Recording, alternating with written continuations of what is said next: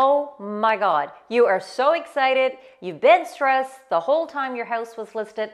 Your house is sold. Now, what the heck do you do? Well, let me tell you. As soon as that sold sign goes up, is get in touch with your lawyer, book an appointment at least a week out in advance before closing just to finalize all the paperwork.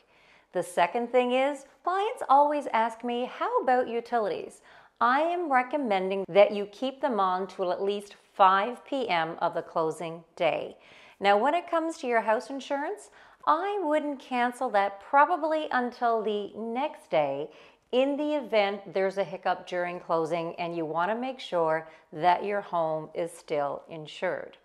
And the other thing that you have to do uh, when you sell your house, Go out and celebrate. You've worked really hard. You've cleaned, you've staged, you've done it all. You endured all of those showings. So, you know what? It's your time to celebrate. If you are looking for any more great tips on what it takes to get your house sold here in Halifax, be sure to follow me right here online. Congrats! Your house is sold. Now, what do you do?